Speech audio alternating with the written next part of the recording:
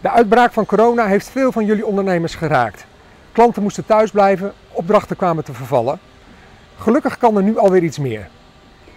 We kunnen weer vooruitkijken en hopen dat binnenkort iedereen weer vooruit kan. De gemeente Ede heeft ook in de afgelopen periode niet stilgezeten. We zijn bezig geweest met een groot aantal projecten. Deze projecten kunnen voor u als ondernemend Ede van groot belang zijn. We willen jullie graag laten zien waar we zo mee bezig zijn. De Parklaan is een belangrijke nieuwe weg voor Ede.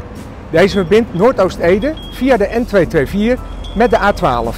De gebieden kazerneterreinen, World Food Center, het Intercity Station Ede-Wageningen, Kenniscampus Ede, Horapark, direct met de A12. Ook is de verbinding tussen het Intercity Station Ede-Wageningen met de Wageningen Campus een snellere verbinding geworden. De aanleg van deze weg is inmiddels gestart op de locaties Mauritskazerne en de Poortwachten bij de Stadspoort.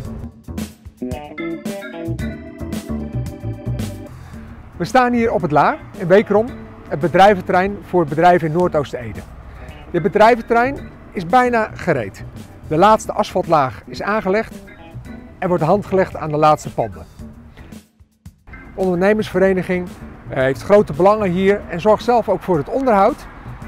Zorgen voor een goede communicatie met elkaar. Hebben zorg voor de omgeving en dat zie je hier ook daadwerkelijk gebeuren. We zien hier achter ons de aanleg van de snelfietsroute Ede-Venendaal. De fietsroute gaat over bedrijventerrein Frankeneng. Handig voor uw medewerkers om zich snel te verplaatsen. Er wordt hard gewerkt om de route per 1 juli af te hebben. Met de komst van het World Food Center krijgt Ede er een prachtig nieuw stadsgedeelte bij. Een plek waar ruimte is voor werken, wonen en beleven. Op deze plek zullen we in de toekomst heel veel diversiteit aan bedrijven gaan vinden. Onder andere Roots Innovation Hub is hier al gevestigd. Tien prachtige nieuwe bedrijven, innovatief en food, zijn hier al gevestigd. Hier sta ik nu op bouwveld C, een plek waar volgend jaar rond deze tijd de eerste kantoren gevestigd zullen zijn. Nieuwe ruimte voor nieuwe energie. We zitten hier op het gebied tussen de A30 en de A12. Het terrein waar het Food Business Park wordt aangelegd. Dit terrein gaat ruimte bieden aan bedrijven in de levensmiddelentechnologie.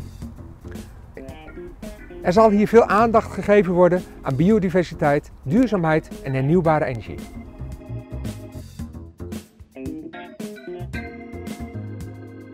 De laatste paar jaren zetten we echt in op een levendig centrum. Zoals je ziet zijn we hier ook op het Kuiperplein bezig. Het is sterk vergroend. De bestrating is aangepast zodat het veel beter past bij de grote straat, de markt en de kerk. Ook hier aan het Maandereind zijn we bezig de winkelstraat groener en mooier te maken. Dit doen we samen met ondernemers om zo Ede toekomstbestendig maken en ook Ede Centrum toekomstbestendig houden.